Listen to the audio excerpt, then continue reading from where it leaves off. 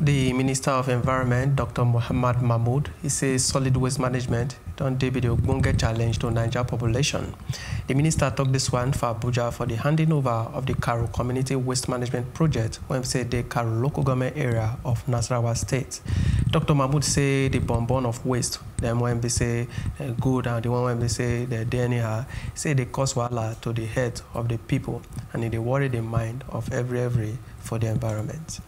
The federal government has designed the community-based waste management project, an intervention project that is to change waste to wealth, to, to manage, to help state manage their municipal solid waste environmentally, and to adopt the based approach in which local government, local communities can buy in and take ownership of the project for viability and sustainability.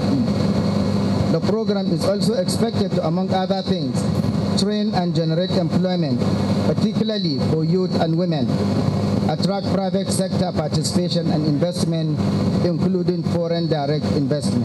We also expect that this project will, will be replicated on the context of PPP, public-private partnership arrangement. We equally advise full involvement and participation of the host community.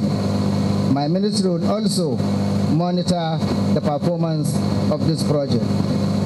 Let me use this opportunity to thank the government and the good people of Nasarawa State for their tremendous support to the project and assure you that the Federal Minister of Environment will continue to partner with the government of Nasarawa State and the stakeholders to address environmental challenges in the state. We here in Nasarawa State have taken the issue of environment very, very seriously. From the little background that uh, the MC has given you about me, I spent most of my life in the oil and gas sector. And I know how devastating environmental issues can cause. I have seen them in the Niger Delta. I have seen them in Uh, Angola. I've seen it in so many other parts of the United States of America. And I'm very familiar with that. That's why, on assumption, we reintroduce the monthly sanitation day in Nasarawa. Therefore, the last Saturday of every month continues to be.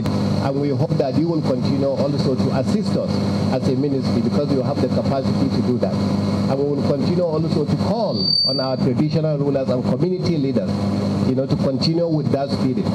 So that now, instead of taking that waste and dumping into the drainages, we can actually gather that waste.